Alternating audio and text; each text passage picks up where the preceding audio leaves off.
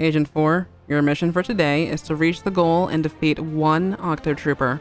You, like, know how to use your swim form and the Splattershot Jr., right? Is one hour enough? You're joking, right?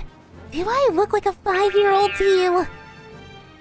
Agent 8, your mission is to clear after Alterna in under 10 minutes without using your swim form, bombs, or specials. One shot of enemy ink and you're out.